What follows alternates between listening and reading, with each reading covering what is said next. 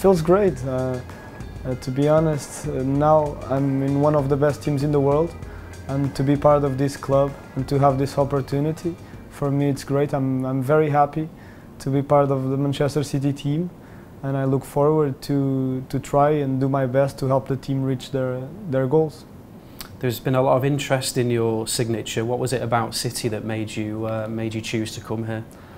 Well, first of all, the project. You know, that's that City.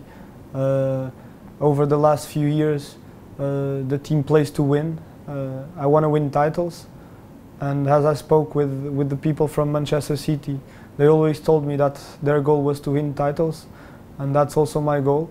Uh, so I'm here with with all the players, the amazing players that we have, the coach and all the team that is behind us. I think we can do it. You mentioned the coach there. How important was uh, Pep Guardiola being in charge here in your decision to uh, to make the move? Well, if not the best coach in the world, he's one of the best. So, of course, uh, when you have the opportunity of being trained by by Guardiola, you you don't you don't say no. Uh, uh, as we as we all know, what he did in in Barcelona and, and Bayern Munich was amazing, and we all expect also here uh, some, that that he wins titles, and it's great to, to, to be to be working with him and to be able to have this opportunity, as I said. Portugal have a, a real rich history of producing number 10s, you know, playmakers. Um, I can think of kind of Rui Costa and Deco in, in my lifetime who have been particularly good. What, what do you think it is about Portuguese football that kind of creates that kind of player? Well, I don't know. We have a lot of we have a lot of players uh, that are offensive players that over the last few years had a lot of success uh, in football. Uh, it's true that we have a lot of offensive midfielders, and I think it's we're, we're, we're a little bit similar to Spain. I think we're smaller, so we don't have as many players as them, but we're similar to them because we're not we're not like the, the north of Europe where you have a lot of tall players and strong players, but we have other things, and for the offensive positions we have a lot of players. I was going to mention your height. You're five foot eight. Um, and a lot of playmakers do tend to be to, tend to be smaller. Do, does does um, does being small bring benefits in that position? Do you think? Well, I, I think when you're smaller and not as strong as, as the other ones uh, physically, uh, you have to develop uh, some other things. Like you have to think uh, faster, you have to try and and be better in other things. And uh, in this kind of positions, it's good to to to have to, to be smart, to try and decide well, to decide fast. And as I said, when when you're smaller, uh, you, you have you have to develop other things, and that's what I what I try to do. I mentioned Deco earlier. Um, we know him really well in this country from his, his time at Chelsea. He's a big admirer of yours and said in the past that you're a player who takes risks. Um, has good technical quality and you could be Portugal's number 10 for many years. Uh, it must be great for you to hear comments like that from somebody with you know the kind of stature in the game that he's got.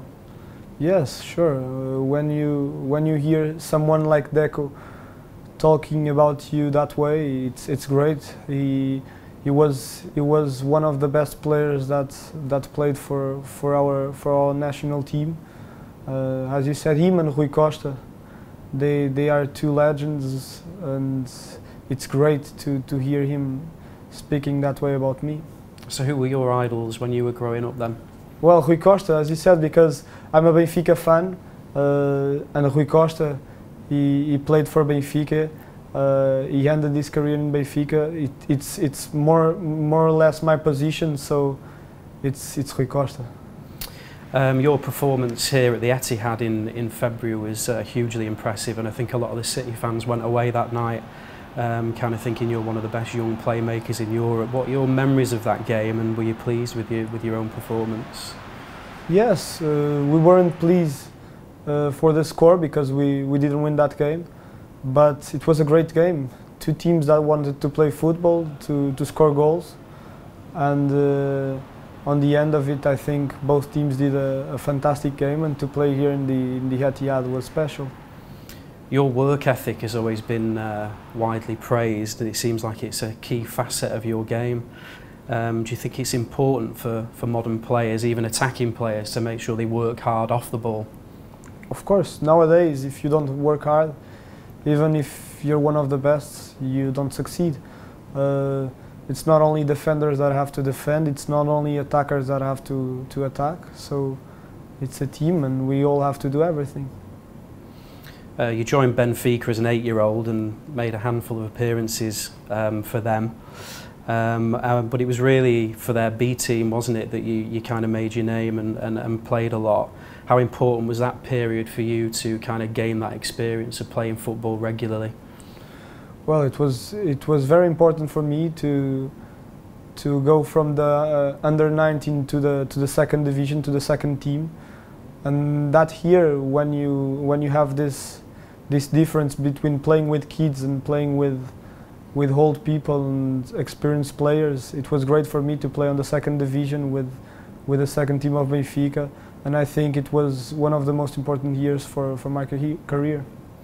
And in 2013, when you went to the Under-19s European Championships and Portugal reached the semi-finals, you were nominated by UEFA writers as one of the top 10 Under-19 talents in Europe. That must have been a huge boost to your confidence at that time to be kind of um, so critically acclaimed.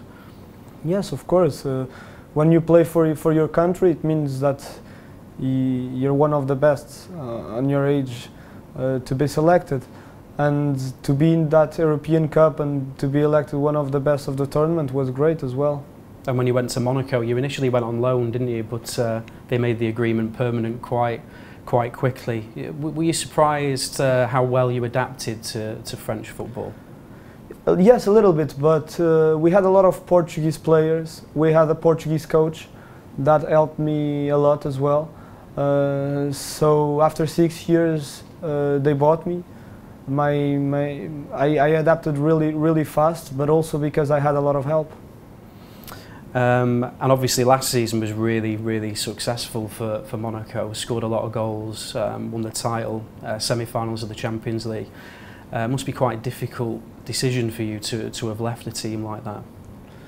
Yes, of course. Uh, it's true that in Monaco this season we did we did some fantastic things to win a title against PSG is not easy in France. To to arrive on the semi-finals, it's it was it was fantastic. Uh, but I think it was it was a good time to leave. Uh, we were champions, and uh, it was great to be part of, of Monaco. I'm I'm really I'm really grateful for everything, but now I'm very happy to be here and to have this new this new project in my life. And uh, Leonardo Jardim, the manager at Monaco, he encourages a real attacking style, doesn't he? Similar to perhaps what Pep Guardiola will play here. Is that important to a player to, to play in a team that, that goes forward? Well, for me, yes. Personally, yes.